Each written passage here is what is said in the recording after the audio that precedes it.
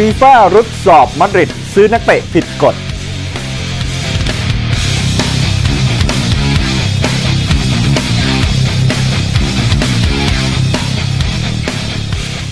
นาดาวพลิกพ่ายเบอร์ดิส ตกรอบออสเตรเลียนโอเพน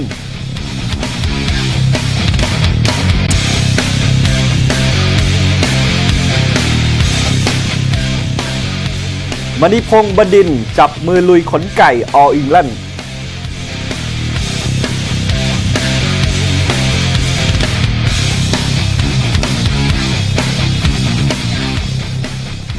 สวัสดีครับ สวัสดีครับต้อนรับคุณผู้ชมเข้าสู่รายการ Sport Today ครับ วันนี้เราเจอกันค่ำวันอังคารที่ 26 มกราคม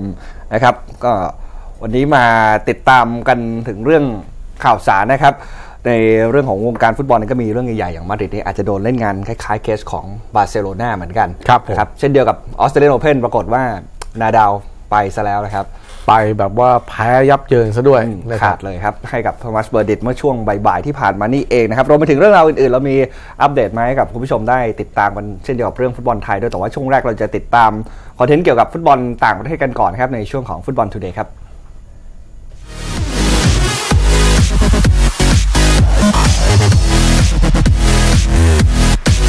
ไปดูกรณีของมาดริดตอนนี้ฟีฟ่าหลังจากที่มีข่าวมาในช่วงสัปดาห์นี้ว่า พวกเขาอาจจะโดนฟีฟ่าเข้ามาตรวจสอบเรื่องของกรณีซื้อขายนักเตะแบบผิดกฎในกรณีเกี่ยวเนื่องกับการดึงตัวนักเตะเยาวชนเนี่ยนะครับ โดยเมื่อวานนี้โฆษกของฟีฟ่าก็เปิดเผยกับทาง ESPN ว่าฟีฟ่าเนี่ยกำลังรวบรวมเอกสารหลักฐานทั้งหมดเลยครับเพื่อนำมาประกอบการพิจารณาโทษ โดยจะยังไม่มีการดำเนินการส่วนอื่นในช่วงเวลานี้ ส่วนตัวแทนจากมาดริดครับเป็นทาง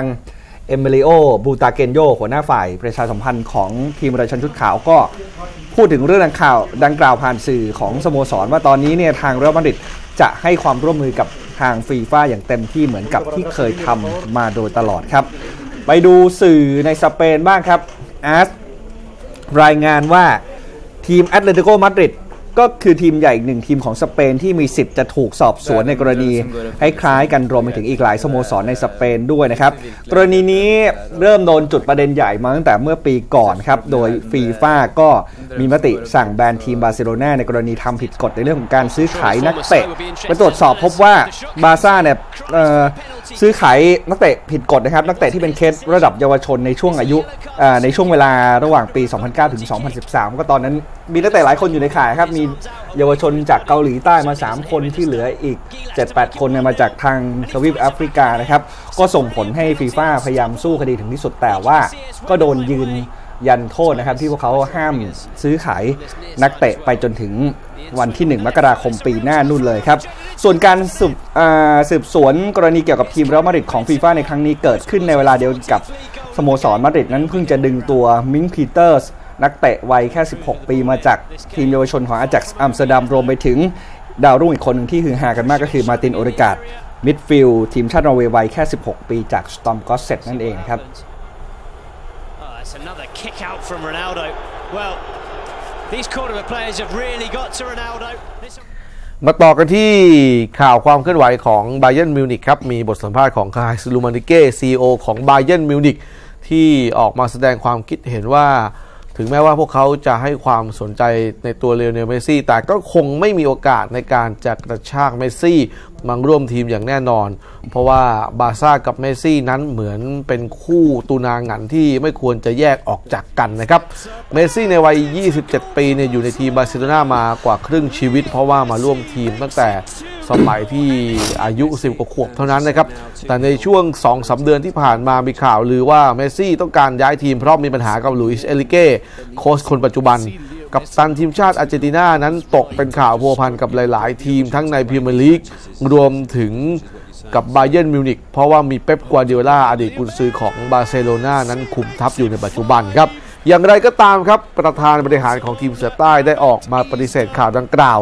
โดยระบุว่าไม่แม้แต่จะคิดเรื่องการดึงเมสซี่มาอยู่กับบาเ e นมิวนิกเพราะเขาเชื่อว่าเมสซี่และบาร์เซโลนานั้นเหมือนคู่รักที่แต่งงานกันมานาน พวกเขาไม่ควรจะพรากจากกัน เหมือนกับเคสของฟิลิปลาห์มกับไบเอิร์นมิวนิกนั่นเองครับ นอกจากนั้น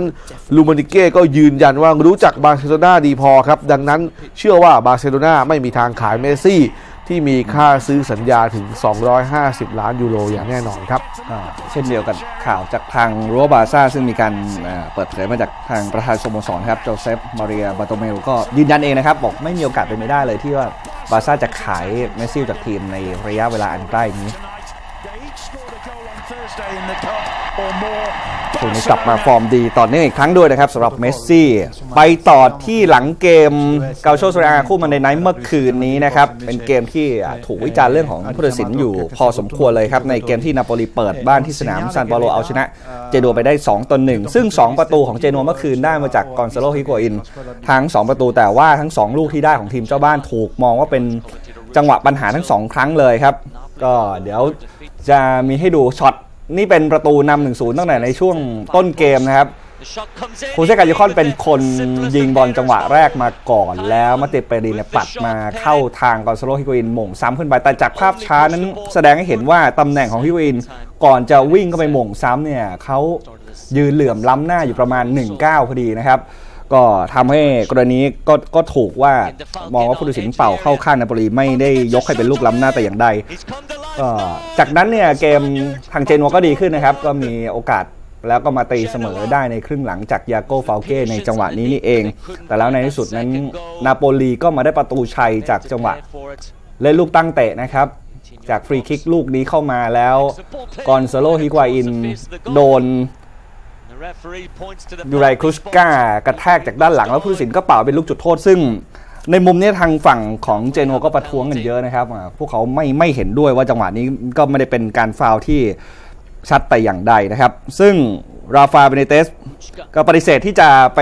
ให้ความเห็นถึงเรื่องการทำหน้าที่ของผู้ตัดสินนะครับเขาบอกว่าหลายครั้งแล้วว่าจะไม่มีการพูดถึงการทำงานของกรรมการ ซึ่งถ้าจะต้องวิเคราะห์ถึงสิ่งที่เกิดขึ้นในเกมทุกอย่าง เขาก็ไม่คิดว่าทีมเจนัวก็จะได้เปรียบเช่นเดียวกันนะครับ นอกจากนี้ราฟายังเชื่อว่านาโปลีโชว์ฟอร์มได้เหนือกว่าคู่แข่งตลอดทั้งเกมด้วย แล้วก็มีจังหวะน่าสงสัยระหว่างเกมไม่ต่ำกว่า 10 ครั้งครับ ถ้าหากว่าจะเอามาพูดถึงกันจริง ๆ แต่ตัวเขาเองเป็นโค้ชที่พูดถึงการวิจารณ์ผู้ตัดสินน้อยที่สุดในลีกเซเรียแล้ว ซึ่งก็จะพูดถึงการทำงานของผู้ตัดสินเพียงปีละครั้งเท่านั้นเองเขามีความสุขครับที่ทีมเก็บชัยชนะได้เพียงแต่ว่าก็มองว่าน่าจะได้ประตูมากกว่านี้ ส่วนการเสียประตูไปให้กับเจนัวเขาก็เคยบอกเสมอว่า จังหวะแบบนี้นี่ทุกคนในทีมก็ต้องร่วมกันรับผิดชอบด้วยครับ ส่วนคำถามที่ว่านาโปลีตอนนี้แรงขึ้นมาอยู่อันดับ 3 ของตารางคะแนนยังมีโอกาสลุ้นแชมป์สกูเดตโตอยู่หรือไม่ ตอนนี้เนี่ยคะแนนของนาโปลีตามหลังอันดับ 2 โรม่าอยู่ 6 แต้มด้วยกัน ซึ่งกุนซือชาว Spanish บอกว่าเขายังเชื่อมั่นหากว่าทีมยังเล่นได้ดีแบบนี้ แล้วก็เก็บชนะไปได้เรื่อยๆ ความมั่นใจของลูกทีมจะมีมากขึ้นรวมไปถึงความฟิตของลูกทีมด้วย ถ้าหากทำได้แบบนั้นแล้ว เขาก็เชื่อว่าลูกทีมของเขาก็รู้ดีว่ายังคงมีโอกาสเป็นไปได้อยู่เสมอ เมื่อคืนมีเตะ 2 คู่นะครับ Monday Night ก็จะเป็นพวกที่เล่น late มาจากฟุตบอลถ้วยโคปปาอิตาเลียเมื่อกลางสัปดาห์นั่นเองนะครับ เอมโปลีแพ้คาบ้านให้กับอูดิเนเซ่ไป 1 ต่อ 2 นะครับ สรุปตารางคะแนนครับเตะครบกันมา20 นัดทุกทีมแล้วครับของเกาโชหัวตารางครับยูเวนตุสก็ทิ้งห่างไปเรื่อยๆครับ ตอนนี้ 49 แต้มนำหน้าอันดับ 2 โรม่าอยู่ 7 คะแนนด้วยกัน อันดับ 3 ครับ เป็นนาโปลีมี 36 แต้มอันดับ 4 ลาซิโอมี 34 คะแนนเท่ากับซามโดเรีย และอันดับ 7 เป็นเจโน 28 แต้ม อูดินเซ่ชนะเมื่อคืนนี้ก็ถือว่าดีขึ้นมาพอสมควรนะครับ ขยับขึ้นมาอยู่อันดับ 9 ของตารางมี 27 คะแนน แล้วก็ในโซนตกชั้น ปามาอันดับสุดท้ายครับ 9 คะแนน ตามขึ้นมาด้วยเชเซน่า 12 คะแนน อันดับ 18 เคียโว 18 คะแนน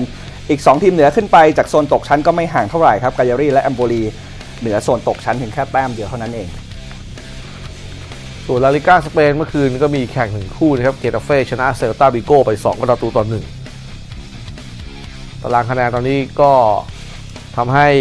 เซลตาบิโก้ผู้แพ้ครับอยู่อันดับที่ 12 ครับจ่าฝูงก็เป็นหนึ่งเรอัลมาดริดนะครับ ส่วนเกตาเฟ่อยู่อันดับที่ 14 นะครับ 20 นัดมี 20 แต้มครับ ขณะที่การแข่งขันฟุตบอลเอเชียนคัพ 2015 รอบรองชนะเลิศครับ เป็นการเจอกันระหว่างออสเตรียกับ UAE ออสเตรียเจ้าภาพนะครับก็ขอประทานครับเป็นออสเตรเลียครับออสเตรเลียเจ้าภาพ ก็ลงเล่นท่ามกลางแฟนๆที่วันนี้มาดูกันแบบล้นหลามเลยครับแล้วก็ได้ประตูขึ้นนำอย่างรวดเร็วแค่ 3 นาทีเท่านั้นครับจากลูกเตะมุมแล้วเทรนต์เซนส์บิวรี่ครับโหม่งเข้าประตูไปครับ นาทีที่ 14 ครับออสเตรเลียครับ ทีมซ็อกเกอรูส์ได้ประตูที่ 2 จากจังหวะชุลมุนในกรอบเขตโทษสุดท้ายบอลไปถึงเจสันเดวิสันครับ ยิงเข้าไปตรงตาข่ายครับ 14 นาทีนำ2ประตูต่อศูนย์สำหรับทีมเจ้าภาพออสเตรเลีย ดูอีกครั้งครับจังหวะนี้บอล ชุลมุนกันอยู่ยิงครั้งแรกติดบล็อกสไลด์ออกมาแล้วก็เดวิสันแปเข้าไปครับคราวนี้ดูครับแปรได้เฉียบขาดครับหนีไปมุมกว้างทำให้ตัวบล็อกนั้นบล็อกไม่อยู่ครับ จบครึ่งแรกนะครับออสเตรเลียก็นำ UAE หรือว่าสหรัฐอาหรับเอมิเรตส์2ประตูต่อศูนย์ครึ่งหลัง ไม่มีทีมไหนทำประตูกันได้เพิ่มครับ จบเกมครับออสเตรเลียก็ชนะ UAE ไป 2 ประตูต่อศูนย์เข้าไปชิงชนะเลิศพบกับเกาหลีใต้ครับในวันที่ 31 มกราคมนี้ครับขณะที่ UAE จะไปชิงอันดับที่ 3 กับอิรัก ในวันที่ 30 มกราคม ทั้ง 2 คู่แข่งขันเวลา 16 นาฬิกาคู่ชิงจะถือว่าเป็นการนัดล้างตาของเจ้าภาพอีกนัดหนึ่งก็ว่าได้นะครับ เพราะว่า อยู่กับเกาหลีใต้มาในกลุ่ม A ร่วมกันตั้งแต่รอบแรกแล้วก็เกาหลีใต้ชนะออสเตรเลียมา1นศูนย์นะครับครับเจอกันอีกทีรอบชิงก็วัดกันว่าใครจะได้แชมป์เกาหลีใต้ไม่ได้แชมป์มา 50 กว่าปี ส่วนออสเตรเลียเพิ่งย้ายมาอยู่ในโซน AFC แล้วก็ได้เล่นรายการนี้เป็นสมัยที่ 3 เพราะคราวที่แล้วเนี่ยเข้าชิงนะครับ แต่ก็พลาดแพ้กับญี่ปุ่นไปได้แค่รองแชมป์คราวนี้มีโอกาสดีมากเพราะเป็นเจ้าภาพด้วย ส่วนในช่วงนี้เรายังมีสรุปข่าวฟุตบอลรอบโลกให้ติดตามกันเพิ่มเติมด้วยครับ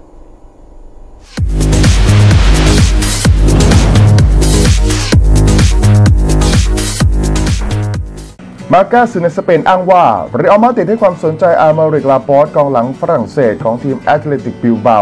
ที่เล่นได้อย่างโดดเด่นตลอดฤดูกาลนี้ เพื่อไปแทนที่เปเป้ อย่างไรก็ตามโคซูอูรูเทียประธานสโมสรบิลเบาไม่ต้องการขายกองหลังรายนี้ออกจากทีม หากได้ราคาต่ำกว่า 42 ล้านยูโร ซึ่งเป็นค่าฉีกสัญญาของนักเตะ แต่มาดริดอาจจะกลับมาต่อรองอีกครั้งในช่วงฤดูร้อนนี้ ขณะที่อาร์ติบิวเอลเองก็สนใจอาเซียร์อียาราเมนดีมิดฟิลด์เรอัลมาดริดเช่นกันอันโตนิโอคาซาโนกองหน้าเจ้าปัญหาของปาม่ายกเลิกสัญญากับต้นสังกัดเรียบร้อยแล้ว หลังจากทั้งสองฝั่งเจรจาอย่างเคร่งเครียดจนในที่สุดทีมจันเลอร์บูได้ยืนยันข่าวดังกล่าว นอกจากนี้คาซาโนจะฟ้องปาม่าเนื่องจากไม่ได้รับค่าเหนื่อยมาแล้วนานกว่า 6 เดือนจากการยกเลิกสัญญาทำให้คาซาโนเป็นนักเตะ free agent มีรายงานข่าวสมทบมาว่า ทางคาซาโนได้รับการติดต่อจากสโมสรอินเตอร์มิลานซามพ์โดเรียส่วนอีกกระแส เจ้าตัวอาจจะกลับไปเล่นกับบารีทีมในเซรีบีอดีตต้นสังกัดที่เขาเคยแจ้งเกิด สกาอิตาเลียรายงานข่าวว่าเอซิมิลานใกล้จะได้ตัวมัตเตียเดสโตรเข้ามาร่วมทีมด้วยสัญญายืมตัว 18 เดือน พร้อม option ซื้อขาดหลังจากที่กองหน้าโรม่าปัดย้ายไปเล่นกับวอลฟ์สบวร์กเพราะต้องการเล่นให้กับเอซิมิลานมากกว่า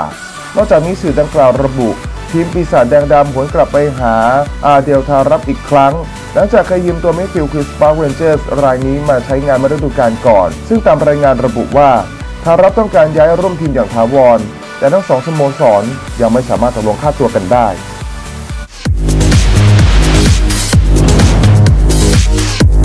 คุณผู้ชมครับช่วงหน้าเดี๋ยวเราจะไปดูเบื้องหลังเหตุการณ์พลิกล็อกในออสเตรเลียนโอเพน